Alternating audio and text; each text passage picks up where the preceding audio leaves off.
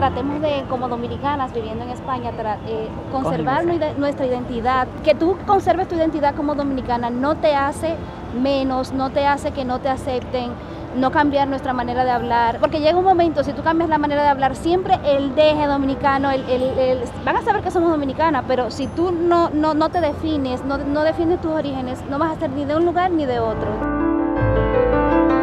Mis queridas amigas, mis queridas conciudadanas dominicanas en España, ustedes no saben cómo llevamos a cada una de ustedes en nuestros pensamientos, en nuestras acciones y en nuestras almas. Dominicanos en el exterior, el INDEX, les exhorto a que si tienen cualquier duda, a que si tienen cualquier problema, acérquense allá. También les exhorto, como decía la artista Maritza Acevedo, hacer una, una agrupación y fundaciones y van a recibir todo el apoyo de su gobierno. Para nosotros, cada dominicano que está fuera no es la diáspora.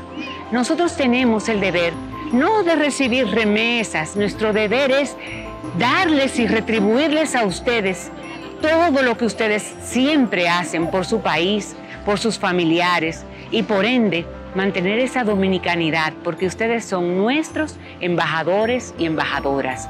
Mujeres, empoderémonos, pero empoderarse no quiere decir luchar contra el hombre, es que sepan que cada una tiene su valor intrínseco y que el Estado dominicano está para servirles. Recuerden, el INDEX. Si no responde el INDEX, avísenme que yo llamo. Un abrazo.